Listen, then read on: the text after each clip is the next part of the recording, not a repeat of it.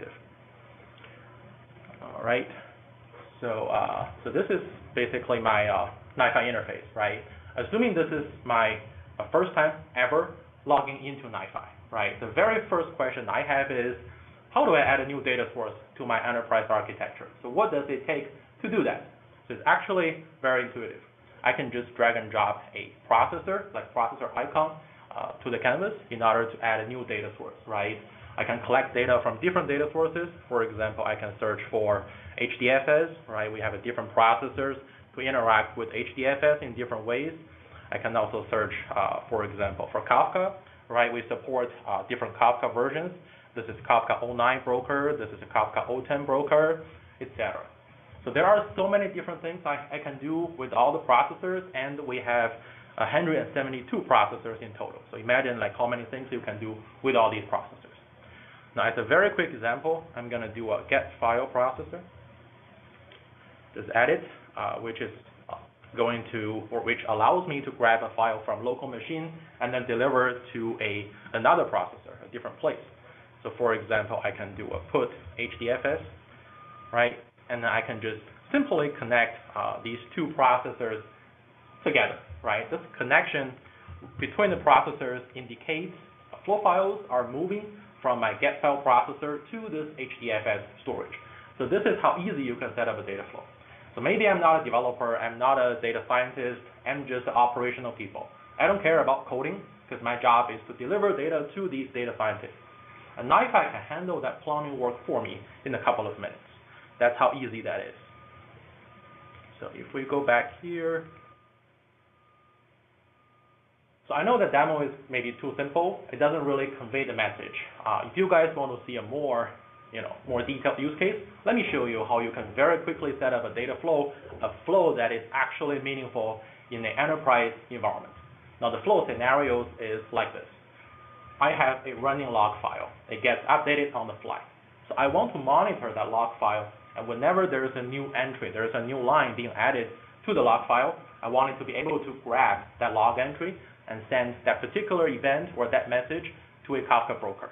And the best part is not to any kind of random Kafka broker. I wanted to route my log entries to different Kafka brokers based on their types, right? There are kind of info entries, error messages, or warning messages.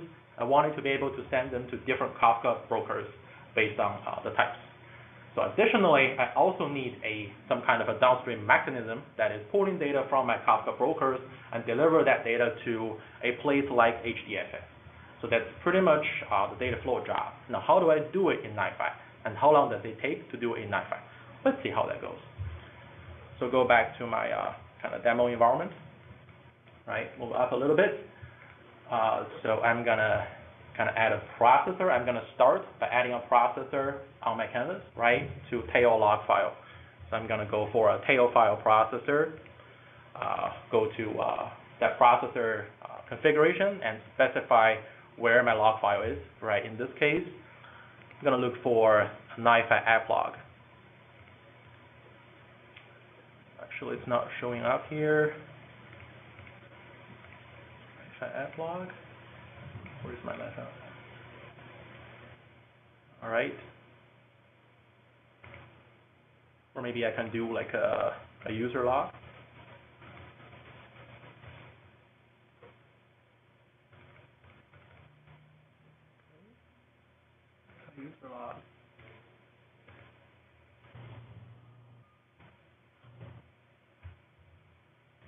All right. I'm not sure if that's a running log, because I know NiFi app log is, but it's not showing up here for some reason. All right. So I specified where the log file is, and um, I can also uh, go back to configuration. I can kind of customize all these processor settings by changing these property values, but I can also leave them as default for now because it's going to work out of the box. And the second processor I need is, uh, for example, a split text processor, right? So what I'm going to do is to split a log entry into individual lines, right? What I'm looking for is uh, how many lines per log entry. I wanted to have a single line in every single log entry. I wanted to split the big log file into multiple lines, and one line per each file. And now I can just connect uh, the two processors, right? Deliver data from tail file processor to uh, split text processor. And another processor I can add uh, is, for example, route on content. It's basically allowing me to make a routing decision, right? And then I can connect uh, the two processors. Split, meaning that I wanted to deliver the splitted line entries to the downstream processor. And also, I can see that there is uh, some kind of error message showing on the face of uh, the split text processor, which means that processor needs some attention. So let's take a look at the actual error messages. It basically says that there are uh, some undefined relationships. For example, I have not defined failure handling. So that's another powerful feature of Apache NiFi. You can specify what failure actually means at any given point along the flow, right? You can either go to the processor configuration, go to settings, and auto-terminate that failure relationship, which means whenever there's a failure, I'm not gonna you know, do anything about that data. I'll just terminate that data and just keep it in the system. Or uh, I can add a new processor, for example, put HDFS, right? So I can uh, drag and drop a line and deliver all the failed data to HDFS. Or I can even kind of drag a line back to the same processor again, which means I can uh, send the failed data back to the same processor, and I want it to kind of reprocess that failed data until it's successful. So there are so many different ways to handle failure, and it is a uh, supported out of the box by NiFi framework. In the meantime, I also wanted to terminate these other relationships uh, so that the processor works. All right, so moving forward, uh, I'm going to configure this route on content processor, go to properties, uh, content must contain or must match exactly. I'm going to change it to uh, contain the match, right? And I wanted to uh, add a different entries to specify or to specify the keyword of error message or warning message or info message. So what I can do here is to add a property that says maybe uh, info, and uh, I'm going to specify to capture the keyword info from the log entries. So this is basically a uh, uh, expression language. We have a complete guide for all the expression language syntax in the NiFi documentation. So you can look at it whenever uh, you feel like to. So similarly, I can do, I can capture uh, different keywords, for example, warning, right? So I can capture uh, warning message, or I can capture uh, like error messages, just to extract uh, the keyword error from the log entries. So now I have a different uh, relationships. In the end, I'm going to deliver all these data based on different keywords to different Kafka brokers. So I can add a processor that says uh, publish publish Kafka. This is going to deliver data to the Kafka processor, right? So if I go to that processor configuration, I can see like different options here. Let me change this to uh, sandbox.hortonworks.com. That's, this is where I run my Kafka broker, uh, which is locally running on my laptop. And I just happen to remember the port number, which is a 6667. And uh, I can specify a topic name, right? In this case, this is an info topic.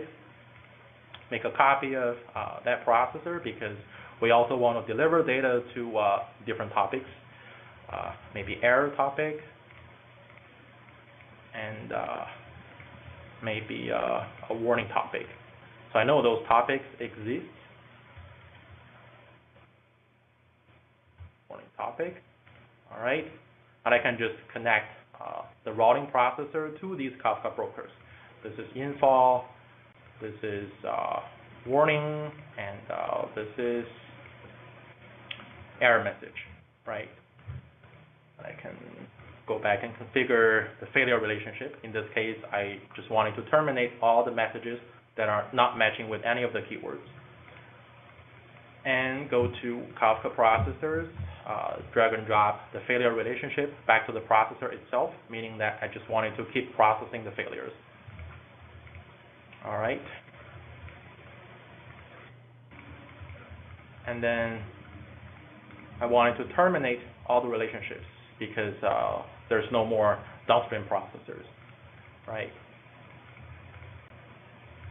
Success. I'm going to terminate uh, the success profiles. All right.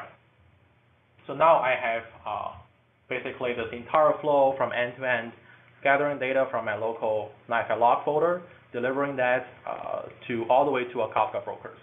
So now let's turn on those processors and see how the flow files move through NiFi. So start this processor here, getting the log file, and this is a, running log file, right? I can keep getting the new messages, right? Turn on that processor to split the log file into uh, single lines, right? There's uh, thousands of lines in those log files, and then turn on that route on attribute, route on content processor to deliver them to a different Kafka brokers based on the keywords. So all those lines happen to be uh, info, which kind of makes sense. So if I turn on that publish Kafka processor, is going to store all the data in Kafka, in my Kafka broker, right? Start all these Kafka processors.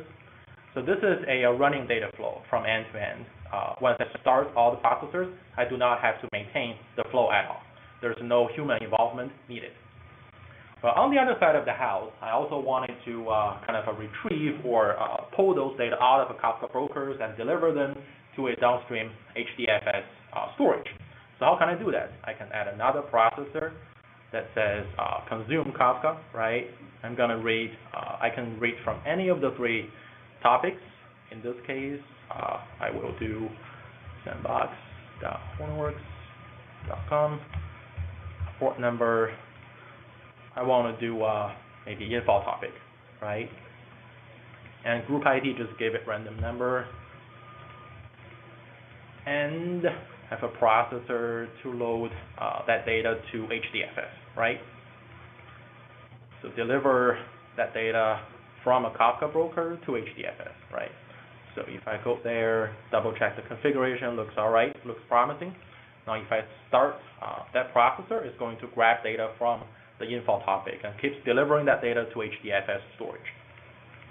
Uh, you know, I can see all the data, right? Whenever there's a new data being delivered to the Kafka processor, so my downstream consume Kafka processor is going to grab uh, those new entries in real time. So this is how easy you can set up uh, a data flow that is actually meaningful in an enterprise environment.